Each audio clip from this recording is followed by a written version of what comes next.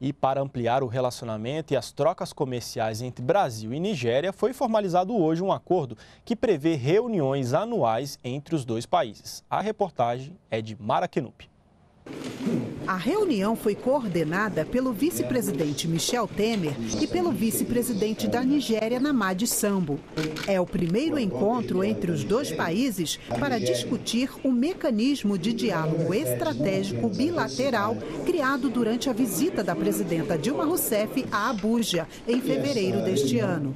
O vice-presidente Michel Temer destacou a importância da parceria entre os dois países. O sólido relacionamento entre Brasil e Nigéria está ancorado em antigos laços culturais e interesses muito atuais e muito concretos. Este encontro proporcionou foi exatamente a formalização e a institucionalização destas relações eh, muito prósperas, como disse, que já temos entre o Brasil e a Nigéria. Temas como energia e agricultura são importantes para os dois países. O Brasil tem interesse em ampliar a parceria na exploração de petróleo na Nigéria e os nigerianos estão interessados na tecnologia da área agrícola brasileira.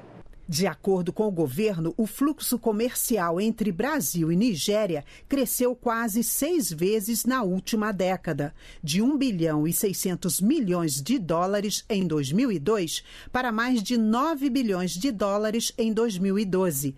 A Nigéria representa cerca de 35% do comércio do Brasil com o continente africano. É o maior parceiro do Brasil na África.